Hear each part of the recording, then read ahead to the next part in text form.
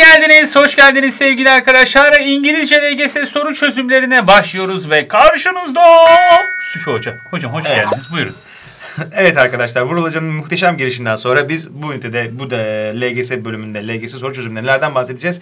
İkinci ünitenin arkadaşlar Simple Present Tense yani geniş zamandan ve Adverbs of Frequency yani sıklık zarflarıyla alakalı 5 tane mükemmel soru hazırladık. Onları siz için şimdi çözeceğiz.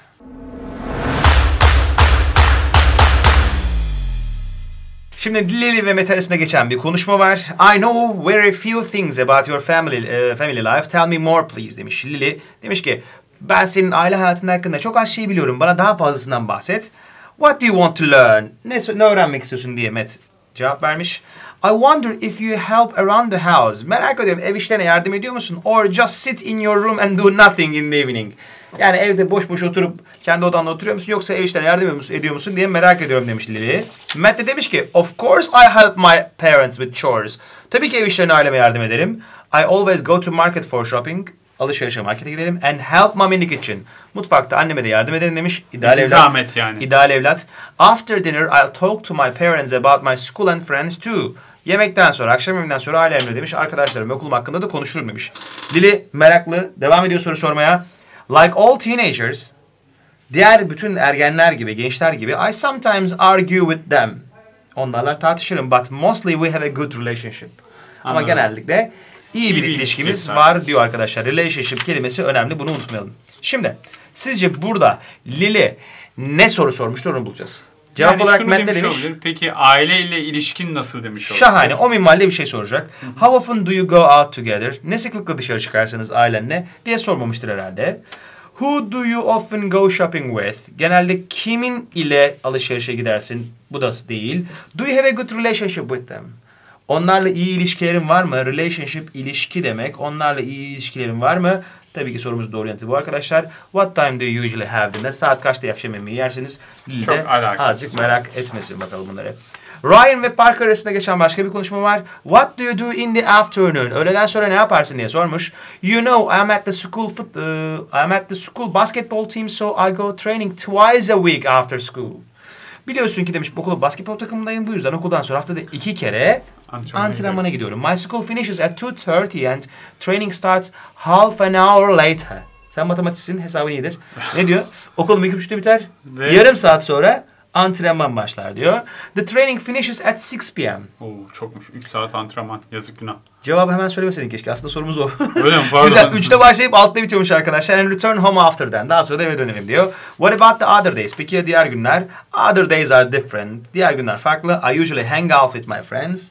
Genellikle arkadaşlarımla takılırım. We go to a cafe, eat or drink something. Bir şeyler yiyip içeriz. And uh, chat for hours. Ve saatlerce muhabbet ederiz demiş. Sometimes we go to skateboarding too. We go skateboarding too. Bu Ömer yine yanlış yazmış. Hocam bunu uyaralım. Döveriz. Devam edelim. Soru şu. How long does Parker's basketball training last? Şimdi last year geçen sene gibi anlamına gelebilir mi? Lasting, last'ın başka bir anlamı daha var. Last'ın diğer anlamı sürmek. Basketbol antrenmanı ne kadar sürer diyor. Zaten e, spoiler Evet, vermiş oldun. Doğru cevabımız For 3 hours. H okunmaz. Trakyalı ol biraz. 3 hours. Three hours. Ben hep heyi okurum ve hep uyarırlar. Okuma. Yanlış yapıyorsun. Tamam özür dilerim. Devam edelim. Geldik trend bir kızımıza. Jennifer is a trendy girl. She often goes to shopping center and buys new clothes. She loves wearing fashionable clothes. She also talks about fashion with her friends. She never wears casual clothes because she thinks they are too simple to put on. Moreover, moreover, she follows the TV programs about fashion and gets new ideas, uh, fashion ideas. Everybody at school loves her dressing style. Demiş ki Jennifer trend bir kızdır. O her zaman AVM'ye gider ve yeni elbiseler alır diyor. Fashionable clothes yani moda uygun giy- giysiler giymeye bayılır. O her zaman diyor arkadaşlarıyla moda hakkında konuşur. Hiçbir zaman diyor e, casual clothes, gündelik giysiler giymez diyor. Çünkü onların diyor çok put on giymek demek, üzerine giymek için çok basit şeyler olduğunu düşünüyormuş. Moreover, üstelik diyor, she follows the TV programs about fashion. Moda ile ilgili televizyon programlarını da takip ediyor ve yeni moda fikirleri de alıyormuş.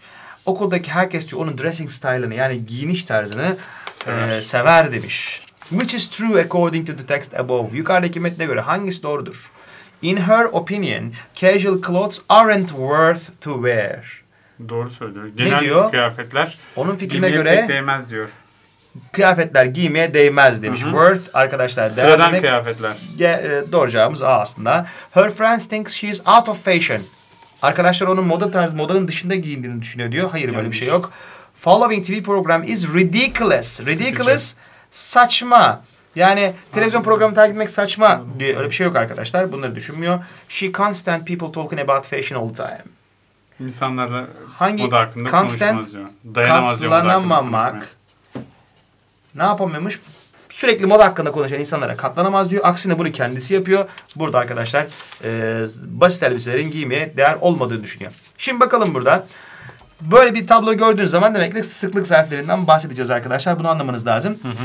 Ee, beş tane tik görürseniz bir iki orada always var. Her zaman yapılan bir şey. Dört tik often, üç tik sometimes, iki tik seldom, iki tik e, seldom, bir tane tik varsa hardly ever, çarpı varsa da never, Never. anlamına geliyor. Şimdi according to the table above yukarıdaki tabloya göre demiş. Terry hates hanging out with his friends. Terry ne diyor? Arkadaşlarıyla dışarıya Çıkmaktan. nefret eder diyor. Şimdi Terry'e bakalım. Terry burada hanging Onu out with friends. eder. Hep Güzel. çıkıyor. Baktığımız zaman bunun kesişim noktasında sürekli çıkıyor. O zaman bu olamaz. Mandy is crazy about wearing fashionable clothes. Mandy e, modayı takip ederken çıldırır. Yani çok Moda severek takip kıyafetler ediyor. giymeyi Giymeyi çıldırasıya seviyor. Şimdi Mandy'ye bakalım. Where's Mandy Mandy? burada. Doğru. Moda uygun giysiler giyme burada. Her Demek ki zaman. bu doğru. Bir sonrakine bakalım. John can't stand listening to rock music. John Rock, rock, müzik müzik dinlemeye katlanamıyor. Şimdi John'a bakalım. John burada. Rock müzik burada ama baktığımız zaman bayılıyor. O da seviyor. Acayip katlanıyor. O da değil.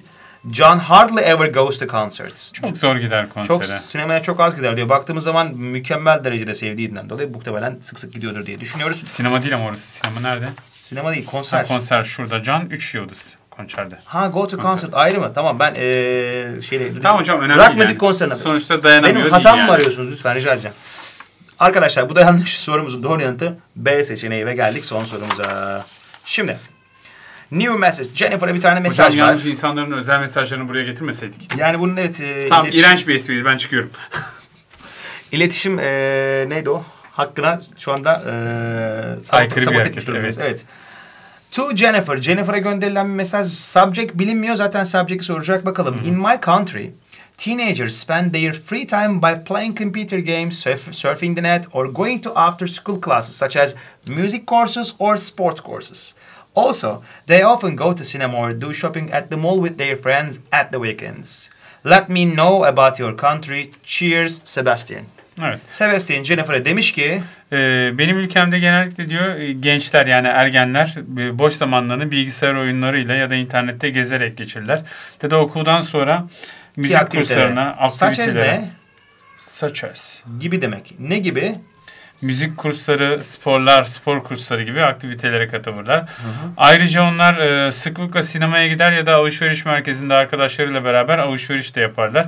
E, hava- hafta sonunda diyor. Bana kendi bili, e, Ülkenden- know about your. E, bana Kend- kendi, kendi ülkenden ülkenden ver. bahsetmiş. Güzel. What is the subject of email above? Yukarıdaki emailin e, subject'i yani konusu ne olabilir? Free time activities of teenagers. Yani olabilir. Gençlerin e, boş zaman aktiviteleri olabilir. School life of teenagers. Yok. Okul Olmaz. Family life of teenagers. Hayır.